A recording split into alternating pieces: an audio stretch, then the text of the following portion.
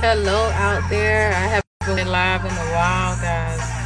But I wanted to come to you guys with a quick message before I get um, occupied again.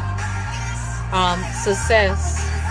Success is basically getting what you want when you want, not having to wait on anything in your life.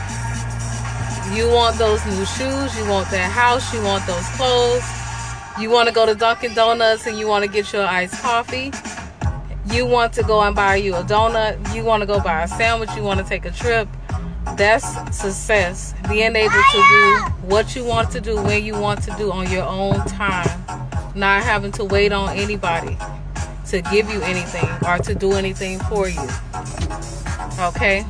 So I just wanted to come to you guys really quick with that message and just to motivate you guys to keep pushing for your goals.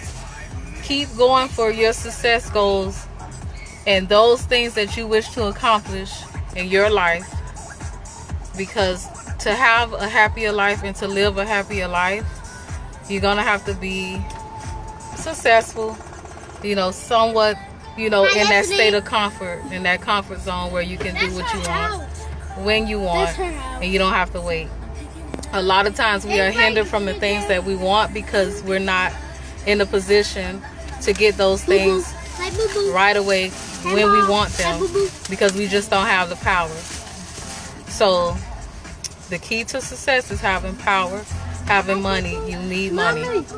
So have a great day. Keep pushing for those goals.